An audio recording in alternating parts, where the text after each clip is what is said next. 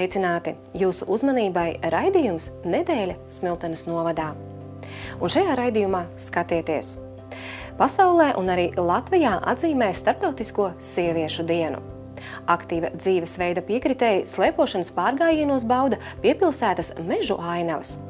Savukārt raidījuma viesis būs Smiltenes pilsētas kultūras centra vadītāja Ilze Jēkabsone.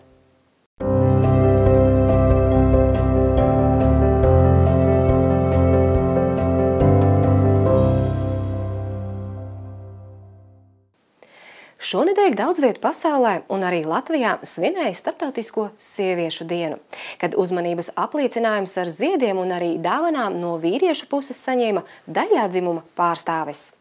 Ja būtu jāveido top 10 par dienām gadām, kurās ir vislielākais ziedu pieprasījums no vīriešu puses, tad tas noteikti būtu 8. mārts.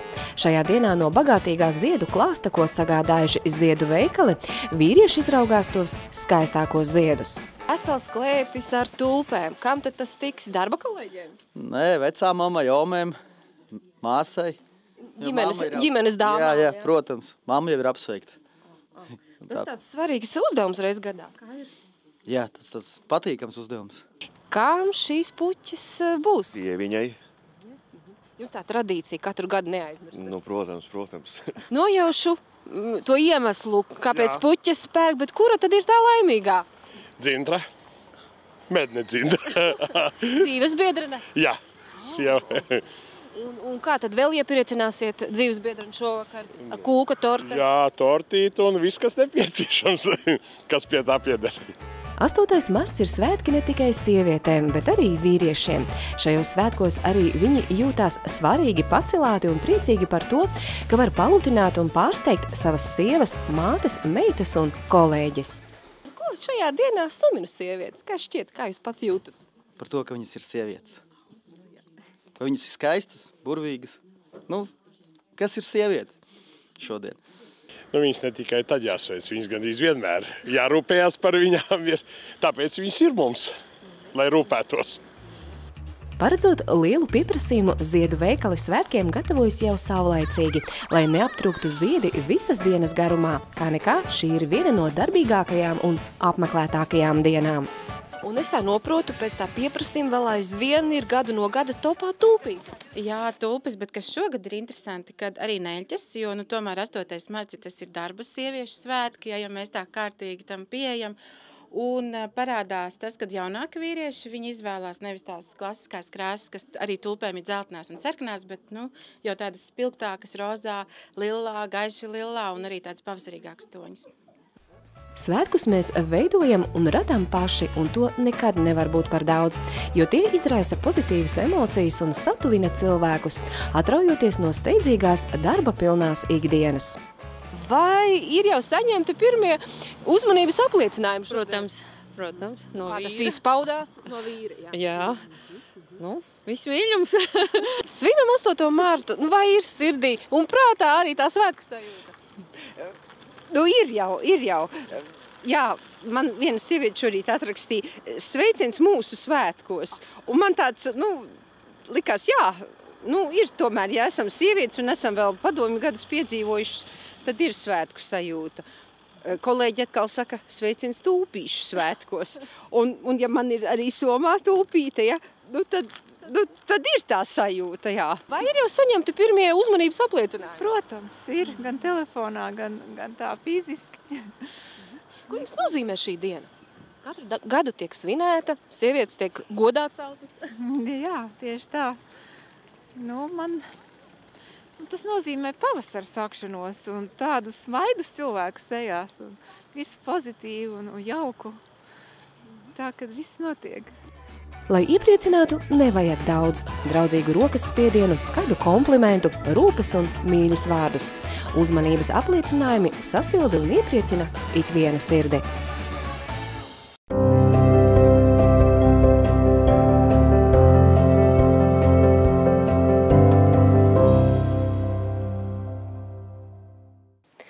Doties braucienā ar slēpēm un baudīt piesnigušās smiltenes piepilsētas mežu ainavas. Šādu iespēju var izmantot piedaloties slēpošanas pārgājienos, kas nu jau trīs nedēļas nogales tiek rīkoti Tepera un Niedrāja ezeru apkārtnē. Ar mērķi veicināt veselību nostiprinošu aktivitāšu ieviešanu ikdienā, atbalstīt aktivitātes dabā, iepazīt apkārtni un apgūt slēpošanas tehnikas pamatus, Smiltenē nedēļas nogalēs notiek slēpošanas pārgājieni. Pasākumu rīko vietējais orientēšanās klubs Azimuts. Ideja jau tāda pati, kā bija 90. gados, kad arī slēpojām. Nu, tagad ir daudz, bišķiņ, kā saka, iet uz priekšu un ir distance pati marķēta. Mm -hmm ir kilometra atzīmes uz distances 1, 2, 3, 4, 5. Mm -hmm. Tad ir otrā galā, kur ir nu, starpfiniši, teiksim, ar tēju un cukuru, ugunskurs. Tur ir otra karte, kur var slēpot jau pa kalniem. Tas ir uh, Niedrā ezera ziemeļgals uz pārkalniem. Nu, tur ir forši. Var izbaudīt, kāda mums ir, nu, gan arī jāsaka, lielākie kalni. Pasākumā ir iespēja piedalīties aktīvā dzīvesveida piekritējiem, gan rūdītiem maratonistiem, gan iesācējiem, kas vēlas baudīt Smiltenes apkārtnes ainavu, slēpojot. Es jau pagājušais piedalījos, pagājušo sestdienu. Šo sestdienu arī jauks laiks un tā izlēma. Mhm. Kā tad bija slēpot pa Niedrāja ezeriem? Nu, viegli bija slēpot. Man tā trasīt likās pat pa īsu. Varētu garāku arī. Un tad jau divi apļi. Jā, nu tad es vēl izslēpoju arī līkumiņu. Vēl tur. Nu, tā. Kāds tad noskaņojums šodien? Jā, labs, saulains. Kāpēc šeit ieradāties? Kā, kā tā doma bija šodien? Nu jāatbalsta pasākums, ja reiz tāds ir. Mm -hmm. Nu vienkārši, nu, vajag paslēpot. Un kāpēc gan ne te? Aktīvs tāds slēpotājs, jeb tāds brīvdienas slēpotājs, kā tad nu, ir? Īpaši, nē, es tur tā. Nu, cik tev vispār tās slēpošanas mums? Tās ziemas jau tādas, vai? Nu, jā, jā, jā. Un es jau vēl kā laukos dzīvoju, man jau tad jābrauc vienmēr kaut kur un uz vietas tur nekas vairāk, biežāk aizputina nekā neaizputina to. Kāda ir tā atsaucība? Nu jau šī ir otrā sestdiena. Nu, pirmā bija nedaudz vēsāka, tad bija nepilni 30 cilvēki. Nu, tagad te startējuši arī diezgan daudz, bet nu, ir cilvēki, kas paņem, teiksim, te no Tepera ezera otras malas autotrases, kartiņtrases, jeb kaut kur no saltupiem startē, un, un viņi tad tur... Starta, starta vietas principā ir dažādas. Jā, nu, oficiālā ir šeit pie hokeja laukuma. Slēpošanas pārgājieni notiek projekta pasākumi vietējās sabiedrības veselības veicināšanai Smiltenes novadā ietveros. Pasākumā var piedalīties arī tie, kuriem nav sava inventāra, jo pašvaldība iegādājusies 30 slēpošanas inventāra komplektus. Tos bez maksas var izīrēt no pasākuma organizatora informējam vairāk, atbildam jautājumiem, tad pa inventāru skaidram palīdzam apgūt, kā jo ir cilvēki, kas ierodās pirmoreiz saņēmuši domas projektā slēpītas un, un vajag apmācīt drusciņu.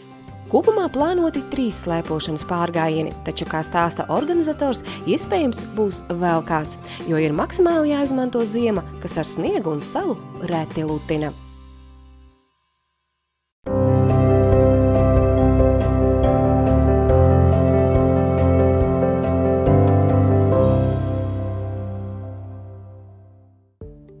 Lai iegūtu ceļazīmi uz skates gada izrāde 2017 finālu, Smiltenes novada kultūras centrā trīs dienu garumā savu veikumu atrādīja Vidzemes reģiona amatieru teātri.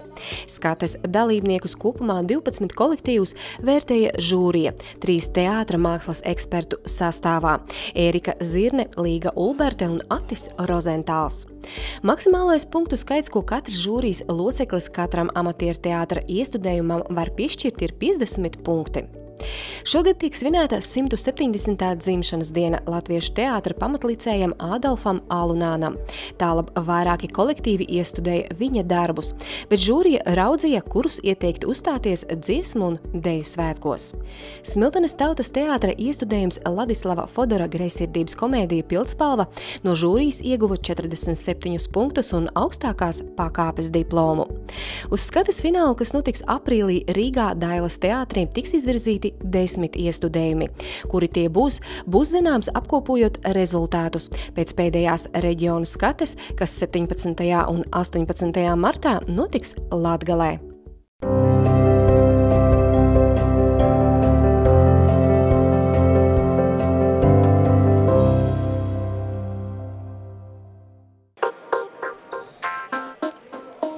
Ceturto sacensību posmu aizvadīja Vidzemes telpu futbola otrās līgas čempionāts. Pēc grupas spēlēm no A grupas izkļuva vienības Smeltenes CSK un Valka 1, bet no B grupas Valka 2 un Kvartāls. Pirmajā pusfinālā laukumā tikās Smiltenes CSK un kvartāls. Smilteniešiem uzvara šajā spēlē dot iespēju cīnīties par pirmo vietu kopvērtējumā. Ar rezultātu 1 pret 0 uzvara un iespēja tika gūta. Otrā pusfināla spēlē sacentās abas Valkas vienības. Pārāk ar 1 pret 0 bija komanda Valka 2. Spēlē par trešo vietu tikās kvartāls un valka viens. Kvartālam zaudējums šajā spēlē nozīmētu arī zaudēt iespēju izcīnīt pirmo vietu kopvērtējumā. Tas motivēja komandu un spēle tika uzvarēta ar 7 pret 0. Savukārt posma finālā Smiltenes CSK ar 2 pret 1 uzvarēja Valka 2 komandu. Līdz ar to kopvērtējumā par Vidzemes telpu futbola otrās līgas čempioniem ar septiņiem iegūtiem punktiem kļuva Valmiers vienība kvartāls. Ar astoņiem punktiem otrajā vietā Smiltenes CSK.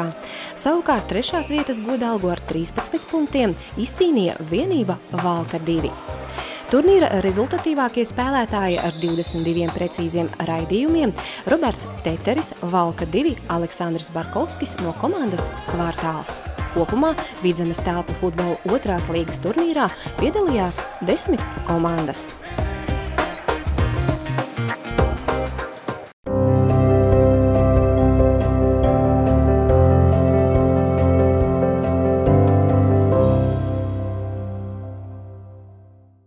Šajā reizē pie mums viesojas Smiltenes pilsētas kultūras centra vadītāja Ilze Jēkabsone un saruna, kā nojaušat, būs par kultūras pasākumiem Smiltenē. Labvakar! Labvakar! 2018. gads tā pamatīgi jau ir ieskrējies, bet pirms mēs runāsim par šajā gadā gaidāmajiem tuvākajiem pasākumiem, nedaudz atskatīsimies iepriekšējā gadā, ar ko šis aizvadītais gads ir bijis bagāts jūsu izpratnē, ar ko raips un, un interesants. Jā, iepriekšējais gads patiešām arī pie mums bija ļoti krāšņs, ļoti raips un, un pasākumiem un notikumiem bagāts. Mēs priecājamies, ka, ka esam uzsākuši jaunas sadarbības un pie mums viesojās tādi slaveni Latvijā iemīļoti mākslinieki, gan Jānis Stībelis, grupa Galaktika, Kristīna Balanas un Andrejs Osokins, Ralfs Eilants, un tā varētu turpināt, turpināt šo sarakstu. Tas ir par pasākumiem, un arī mūsu kolektīvi ļoti, ļoti ražīgi pastrādāja. Um, ko gribētos izcelt, ir uh, jauktā kora vidzemīta dalība Eiropas kora olimpiādē, no kuras atveda sudraba diplomu. diplomu. Tāpat tās augstākās pakāpes skatē saņēma gan tautas teātris, gan vidējās paudzes deju kolektīvs Ieviņa un Pūtēju orķestris viesojās Čehijā, koris pakalni viesojās Lietuvā, tāpat tās ārpus Smiltenes ļoti daudz uzstājās gan senioru koris Mežābele, gan folkloras kopa Rudzu puķa un, uh, Un tā kā jā, ja 2017. gads bija patiešām notikumiem, pasākumiem, ļoti, ļoti bagāts, interesants, daudzšķaitnains un, un katrā ziņā at, arī noteikti atšķirīgs no iepriekšējiem un arī atšķirīgs kāds būs šis 2018. Jā. Jā. Par to mazliet vēlāk, ņemot vērā šo bagātīgo pasākumu, kā saka, klāstu, uh, Kā iezīmējās varbūt šīs publikas intereses, uz ko vairāk ir tendēta publika? Um, es noteikti atkal atkārtošos, ka pie mums ļoti, ļoti mīl teātri. Gan mūsu pašu tautas teātri izrādes, kas uh, regulāri notiek uh, gandrīz katru nedēļu, izrādes ir izpārdotas. Um, Un arī šīs viesmākslinieku izrādes, kas eh, pagājušajā gadā pie mums viesojās gan Jānis Kutels ar Karalisko improvizācijas teātri, gan uh, izrāžu apvienības pannas izrādes, uh, gan mačo, gan saimnieks meklēs saimnieci. Šīs visas izrādes patiešām ir uh, principā izpārdotas, zāle ir pilna, tā kā teātri pie mums ļoti, ļoti mīl. Uh, Tāpat tās arī ļoti cilvēki apmeklē Latvijā iemīļotu un atpazīstamu mākslinieku koncertus, kā arī mūsu pašu kolektīvu pasākumi ir apmeklēti. Tā kā Smiltenes publika ir tāda, kurai šķiet, ka patīk dažādas lietas, dažādi notikumi no dažādām sfērām un nozarēm. Tā kā Uh, bet teā, šķiet, ka teātris būtu tas, ko es gribētu izcelt visvairāk, ko pie mums apmeklē. Teātris mīl smiltenē dzīvo. Jā, tieši tā. Nu, lūk, ņemot vērā visus šos pasākumus, arī, arī mm, gaidāmie pasākumi iezīmē mm, tādu, tādu lietu, ka tuvojas dziesmu svētki, jo kolektīvi grib uzstāties un tuvojas līdz ar to arī skatas.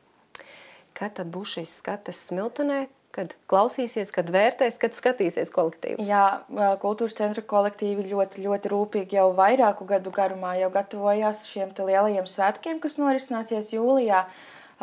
Tikko marta sākumā skatē, skatē piedalījās mūsu tautas teātris, kur ieguva augstāko pakāpi un tika izvirzīti fināla skatei.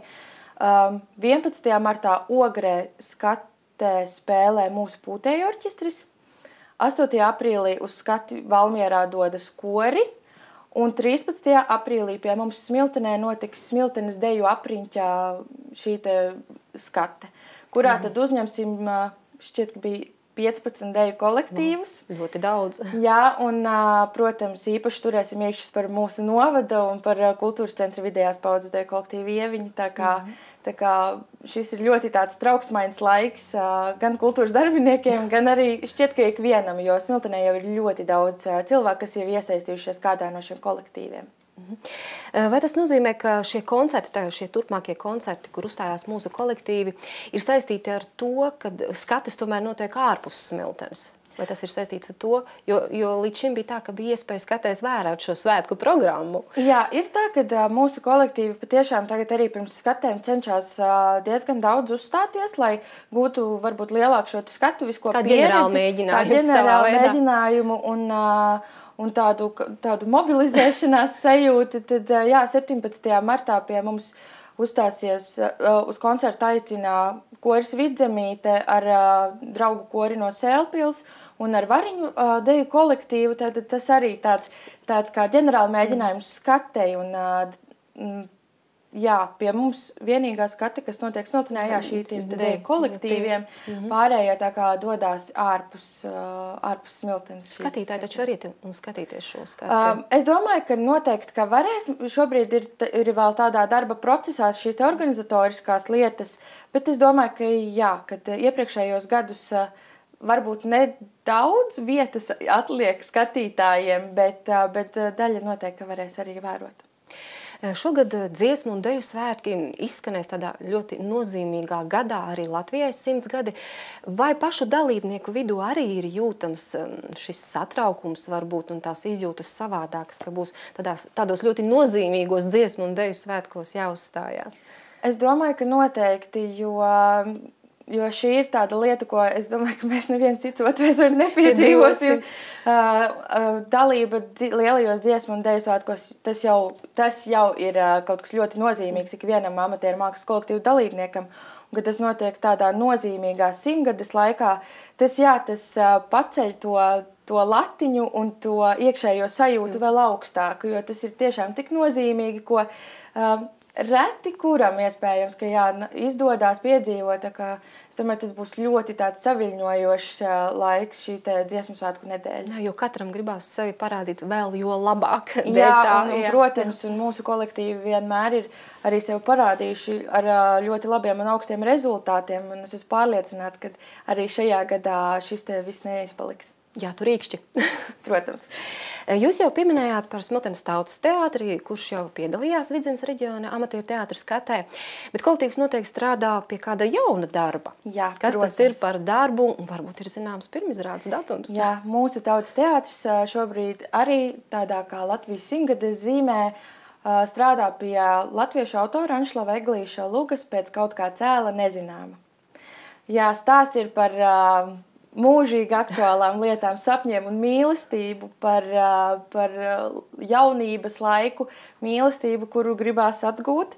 Um, bet par to, par ko īsti to tomēr es ļaušu Visu, nākt, jā, visiem visu nākt un, atklāt, jā. nākt un tā kā pašiem skatīties.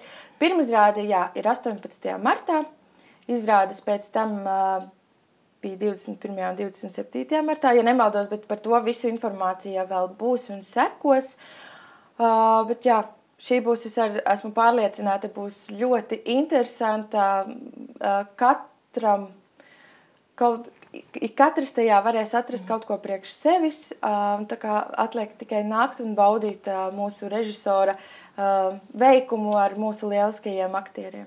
18. martā tas jau nākamajā nedēļā? Jā. Ah, ļoti ātri. Tieši tā, un uh, paralēli tam joprojām tiek spēlēta arī izrāda pildspalva, jo esam izvirzīti šim fināla skatei, kas notiks vai Rīgā vai Jūrmalā. Aprīlī. Jā. Aprīļa sākumā, Jā. ja nemaldos. Jā. Um, līdz ar visiem šiem pasākumiem ir sākusies pieteikšanās tādam ļoti jaukam, sirsnīgam pasākumam, kas jau kļūsi man šķiet jau par tradīciju bērnu un jauniešu vokālajam, vokālajam konkursam Smiltenes balstiņas. Bet šogad ir mainīts šis nolikums. Jā. Kas ir izmainīts un kā labi? Um, pasākums šogad notiek trešo gadu. Uh, Atzīšos, esam vēl tā īstā un vienīgā labākā formāta meklējumos, tāpēc arī šajā gadā nedaudz kaut ko pamainām. Un būtiskākās divas izmaiņas ir, ka konkursā var piedalīties Smiltenes novada bērni. Tā kā dot iespēju vairāk parādīt uh, tieši mūsu pašu bērniem. Un otra izmaiņa ir, ka var piedalīties ne tikai solisti, bet arī dueti un trio. Dodot iespēju kāpt uz skatuves arī tiem, kuriem kāpt vienam pašam varbūt ir nedaudz vēl Droši- bailīgi. bailīgi, jā. Kopā ar kādu draugu vai kompāņu tas, protams, vienmēr ir drošāk un, uh, un arī varbūt stabilāk. Tā kā ļoti gaidām šos te pieteikumus un uh, skatīsimies, kā mums tas izvērtīsies šogad. Un tad, Kas mudināja veikt šīs izmaiņas? Um, par duetiem un trijo, kā jau minēju, šis te, kad uh, esam, esam dzirdējuši, kad gribētos uzstāties, bet vienam tā kā varbūt Jā. Nedaudz trīceklītis iekšā. Un uh, par Smiltens novada bērniem ir uh, tā, ka iepriekšējos divus gadus pie mums ļoti daudz brauca no apkārtējām vietām, kas, protams, no vienas puses mums ļoti iepriecināja, bet no otras puses varbūt nedaudz tā kā sabiedēja mūsu vietējo, vietējos bērnus, Bērnus. kuri varbūt sevi nesaskatīja tādā pašā līmenī, kā, kā šos citu novadu un pilsētu to bērnus. Tāpēc uh, šogad mēs tā kā vairāk fokusējamies uz, uz, uz mūsu pašu. Pašu. Mhm. Līdz kuram datumam var pieteikties? Cik daudz laika? 13. aprīlim. Ah, tad ir, var teikt, mēnesis. Jā. Nedaudz vairāk kā Jā. mēnesis. Tā Tad vēl jāmācās droši var- dziesmas, jāgatavojās. Jā, un- gaidīsim Un pieteikumus. droši jānāk un jāuzstājās. Eh, Vēl, ar ko ir piepildīta šī gada pirmā puse ar kādiem pasākumiem? Šī pirmā puse uh, mums ir piepildīta ar pasākumiem uh, pēc principā, kā mēs arī cenšamies kā visu laiku veidot šo pasākumu plānu, lai būtu gan koncerti, gan būtu viesmākslinieki, gan būtu izrādes, uh, gan arī būtu kaut kas no vietējā. Um, Man ir ļoti liels prieks, ka 19. aprīlī pie mums viesosies Liepājas teātris, kas pie mums vēl nekad nav bijis. Tāli viesi. Jā, ar izrādi Ragana, kas uh, ir izpelnījusies ļoti labas atsauksmes gan no skatītājiem, gan no kritiķiem. Tā kā uh, gribu aicināt izmantot iespēju nākt un apskatīties uh, šo te, šī te viena no Latvijas profesionālā kā teātra Teātra. izrādēm. Um, Tāpat tās um, pie mums martā būs gan mazie cālīši pie mums uzstāsies. Um, tā tad būs šīs te arī tautas teātra pirmizrāde. Aprīlī iesāksim ar lieldienu svinībām. Um, pie mums viesosies arī Maksims Trivaškevičs ar savu stand-up komēdijas izrādi. Un 28. aprīlis šķiet, ka būs tāds kā Latvijas simtgadus pasākumu tāds aizsākums, jo pie mums būs Latvijas goda aplis, kas ceļo pa visu Latviju, šie te goda apļa pasākumi, un tad ar šo tad arī aizsāksim tādu simtgadus pasākumus, pēc kura sekos 3. maijā Baltā Galdauts svētki. Citos pagastos tas notiks 4. bet 3. maijā, kad mēs to ieskandināsim Smiltenē, un ā, 12. maijā atzina, apdzīmēsim mūsu senioru kora Mežābela 55 gadu jubilejas pasākumu.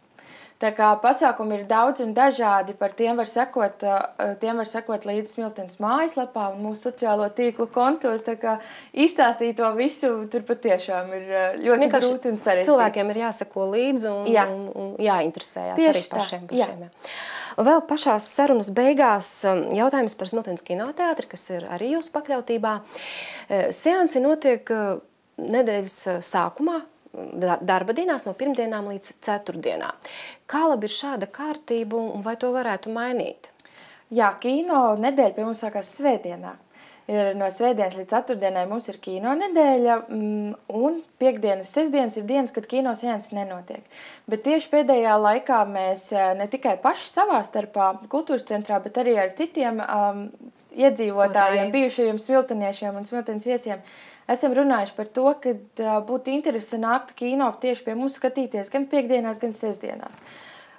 Sākotnēji šis apsvērums, kāpēc piekdienas, sestdienas nav kinodienas, ir, lai nepārklātos ar kultūras centra pasākumiem, jo šie cilvēki un mūsu darbinieki ir vieni un tie paši, kas strādā uz abām šīm lietām, bet mēs pat tiešām šobrīd tā rūpīgi sēžam un domājam, kā atrisināt, kā samanedžēt darbinieku grafikus, lai uh, kino kļūtu, jā, varbūt pieejamāks arī tiem, kas smiltenē viesojās tieši pa nedēļas nogalē.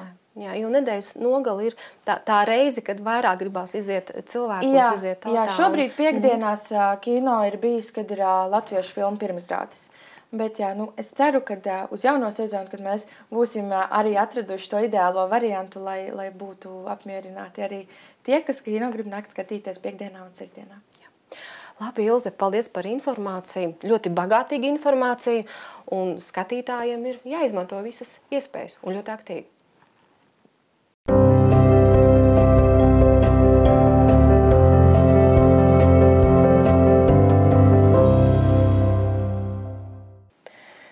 Raidījuma noslēgumā informācija.